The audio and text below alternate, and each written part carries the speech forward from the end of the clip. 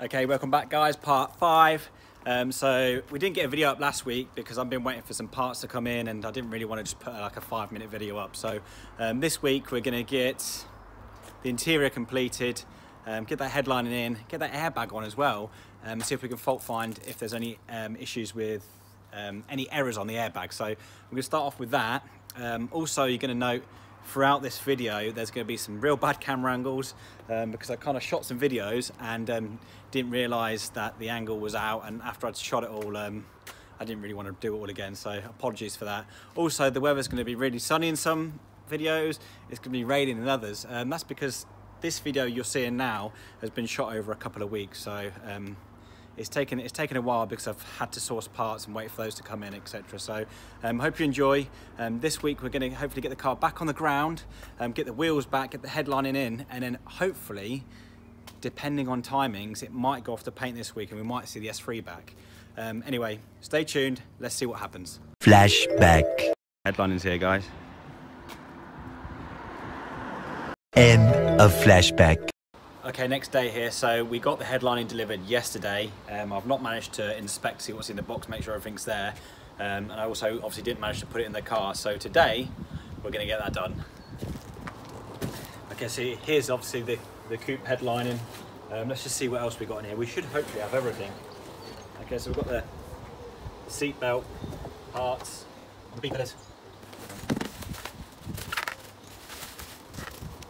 That is the rear pillars where to hide the airbags. Same again there. A pillar. A pillar. That's the light up top there. In there. And we have got the, mirrors. got one. Shit. I've got one grab handle. I need two. Hopefully there's another one in here somewhere. Let's have a look. Okay, so we've got everything apart from another one of these handles and the airbag tag here. Um, so I can, I can easily pick those up um, off eBay second hand. Um, so let's get on with taking the old seat belts out, putting the new seat belts in, and then getting this replaced. Okay, prior to putting this in, I obviously need to change the seat belts. That means I need to take the rear door cards out. Um, here they are. I'm going for these. These literally just unclip like they normally do on other Audis. So I'm going to try the um, tried and tested method of giving it a tug.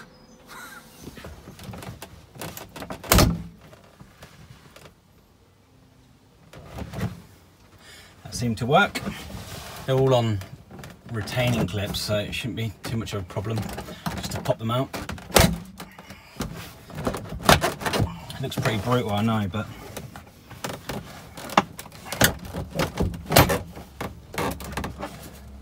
Okay, we got, I'm not gonna take the whole thing off. We've got enough room to play with to be able to get this seatbelt and this, this part out. So let's get on with that. Old versus new. Let's put these in. A few moments later. One seatbelt complete. Okay, so we finished off last week's video by putting the seat, new seatbelts in and putting the, the dark trim in there. And so I've got to obviously take out the roof airbags. I'm going to just do show you one side, um, get the new ones buttoned up, and then we can put the headlining in, um, which is going to be fun. And let me tell you, sitting in a car on this boiling day is not fun.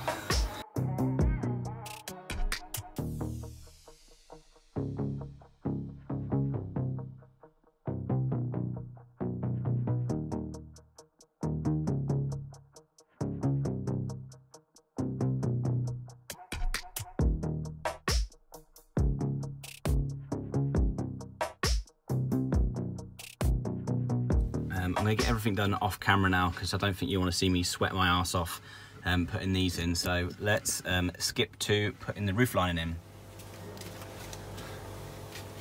Okay, we just finished completing the curtain airbag, so we've got those in. Now it's time to put the headlining in now. Um, so um, the way I did this before is take the headline out the passenger side. I've checked and measured every angle. This is the best way to put it in. So um, without further ado,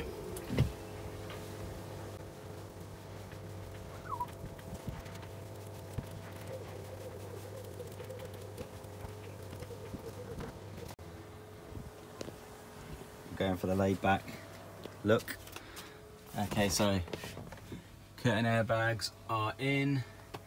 Let's get the headline in here now.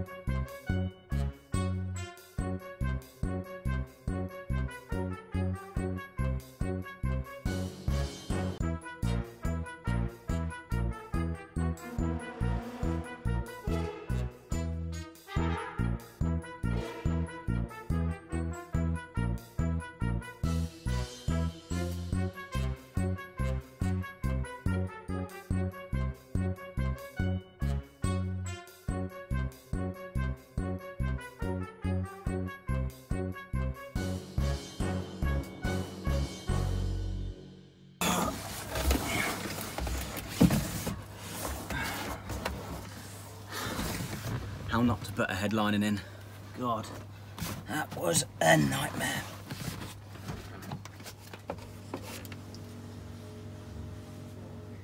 Almost there. There you go. Black, grey headlining. Okay, let's get these trim pieces into the rightful place.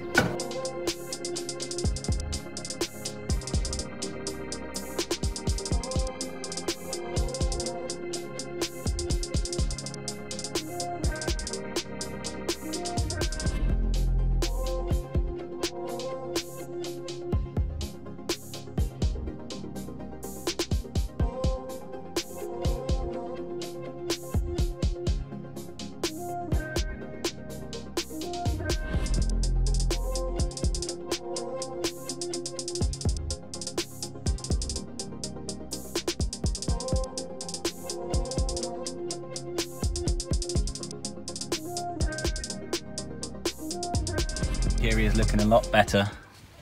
There's a black headlining if you can see it. All in.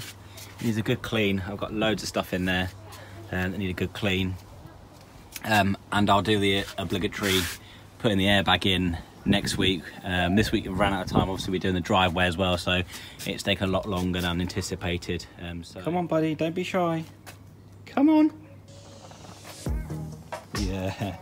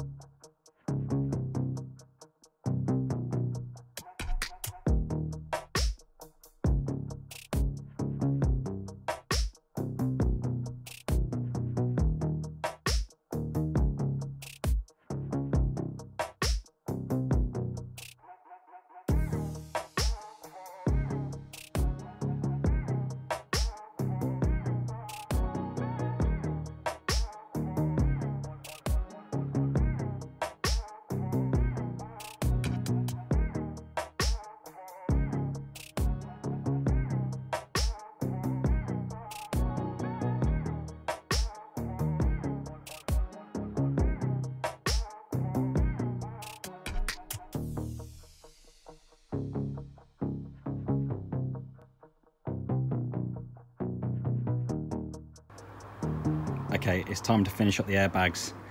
um, and that ends with the steering wheel airbag. You know, you've got to have that christening moment where you push it in and it clips in.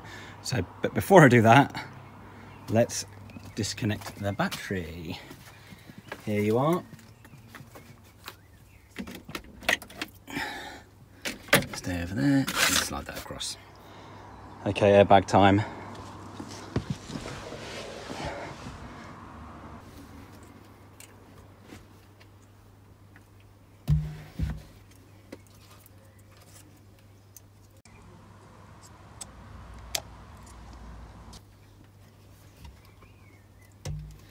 Probably can't really see this on there. Um,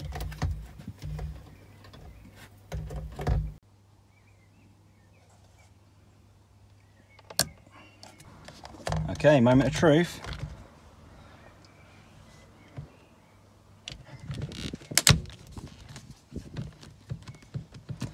Okay, airbags in. Let's see if it blows up in my face when we turn the battery on.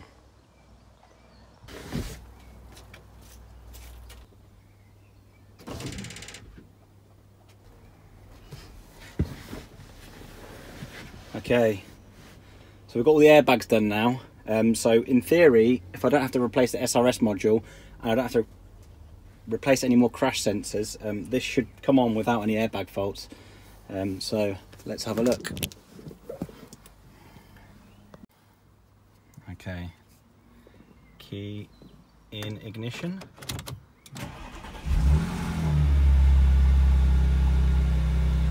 Airbags have gone out. Oh no, they're not. They're back on. Let's just see if this beeps. No. Okay, so we have a number of fault codes for the airbag, So um, let's clear these codes.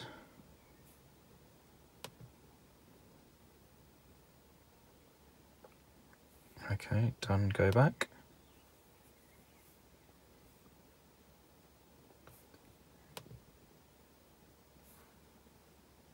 and you'll see on the dash. The airbag one light has gone off. Let's just turn that off and put that back on. So it comes on and goes out. Wicked. So that's worked well. Okay so let's just see if we can start the car up.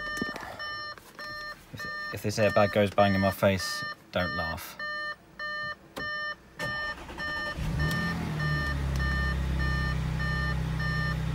Ah, airbags are done. That means I can put everything back in. We are good to go.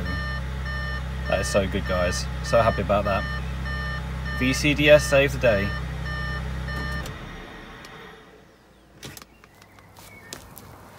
New bumper time.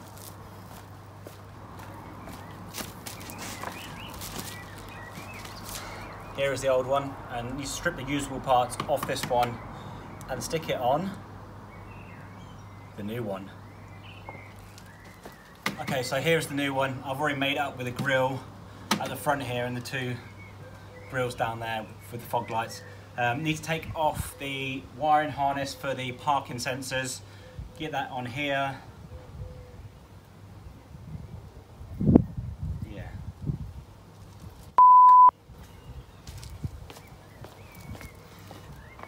Have you noticed what I've noticed? Let me show you. Okay, so this grill here, or this bumper here, doesn't have the headlight washers.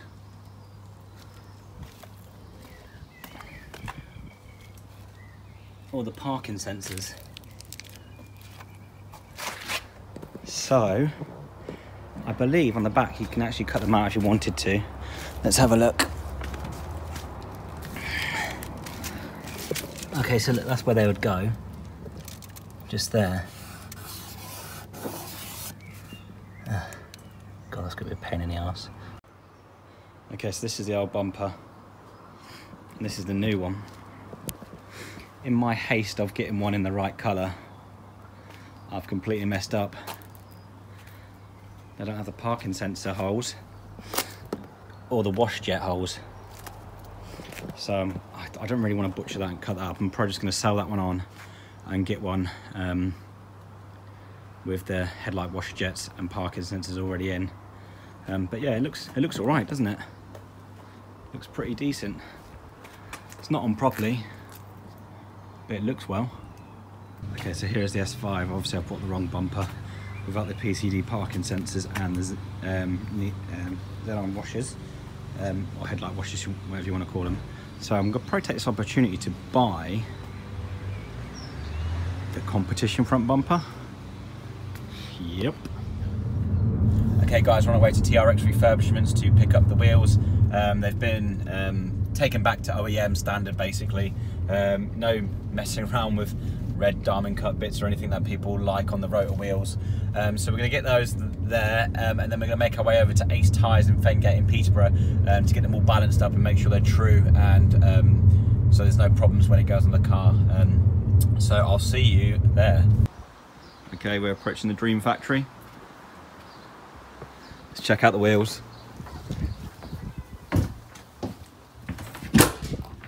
Oh, here they are. Let's just flick to what they look like before, and then you can take a look at what they look like now. They are perfect. So we've gone with the OEM look, no rascal red bits or anything here that people generally go for. Um, keep it as standard as possible. Um, factory fresh. Anyway, here's what they look like before.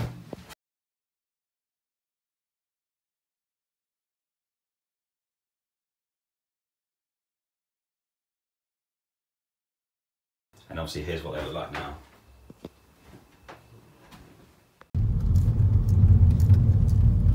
Okay, just pulling into Ace Tyres, see if they've got some room for me.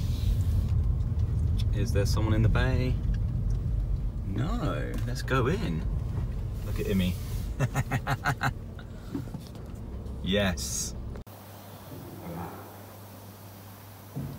Imi's obviously being real careful here, not to not to damage the fresh paint.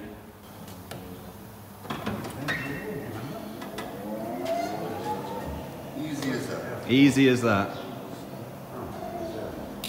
Well, it's a nice backdrop, isn't it?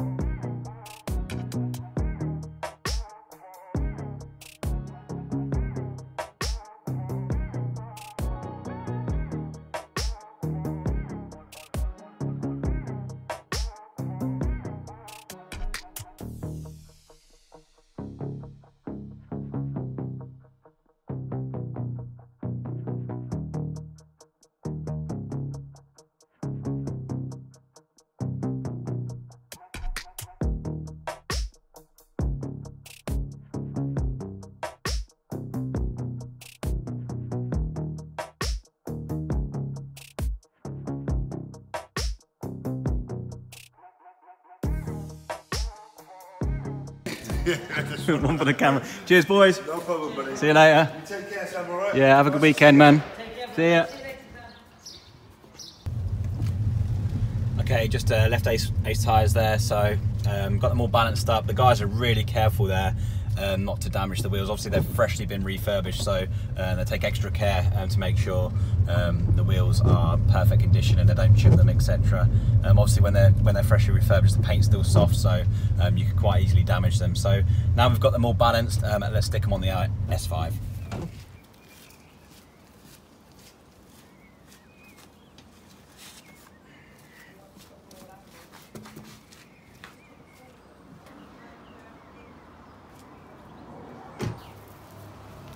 Okay, next day here. So um, yesterday we realised that I bought the wrong bumper.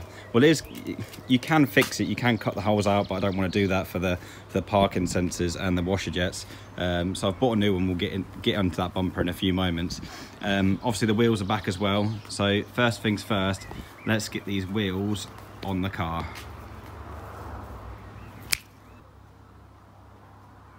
There we go. Wheels are back on, and it's on the floor. First time for about, well, a few weeks now. Um, anyway, let's have a look at this front bumper.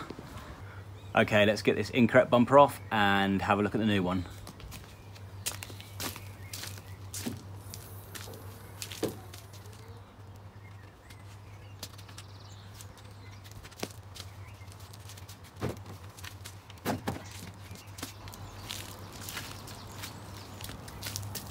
Okay, um, so we obviously made an incorrect decision on the on the previous bumper bought. Um, it didn't have the um, headlight washer holes or the parking sensor holes. Um, I could have cut those in, but I didn't want to mess about and ruin a bumper potentially when I can just sell that on. Um, so I said I was going to get the competition bumper, and the competition bumper is a bit more aggressive than the um, the standard um, standard standard bumper for these, and it's also not copying like an RS. So I don't want um, to pretend this is an RS5 um, for any particular reason. So um, let's get it open and stick it on the car. It's a completely different colour. Obviously, it's going over to the body shop, um, but let's just check out, see what it looks like compared to the standard one.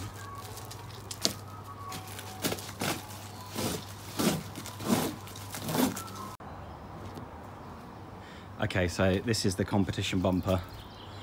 So that's what it looks like. Now let's just switch it up and see what the other one looks like and you can tell the difference then. Okay, in my opinion, um, the competition bumper looks much more aggressive than the normal S5 bumper that goes on here. Also, we're not like trying to replicate or yeah, we're not trying to replicate an RS5 um, either. So I want it to still be an S5, not pretend it's an RS5, but also have a meaner front. And I think this genuine OEM bumper does that. It's gonna look really good once painted.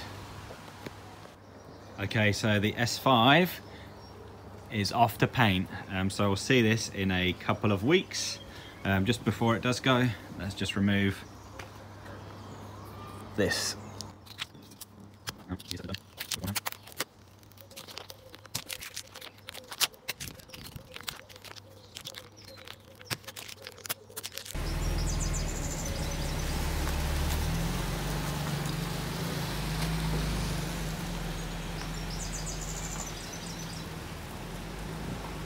Okay, so the S5's gone to paint, um, finally. Um, sorry about this video, it's taken longer than anticipated, probably about two and a half weeks. Um, been waiting for parts, obviously made some incorrect decisions, and also I'm working full time, so it can be hard to get these videos out to you every week. Um, but anyway, the S5's gone, but take a look at this.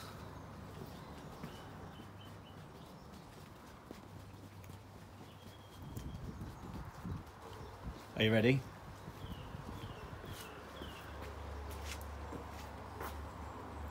The S3's back. See you in a week or so for this one.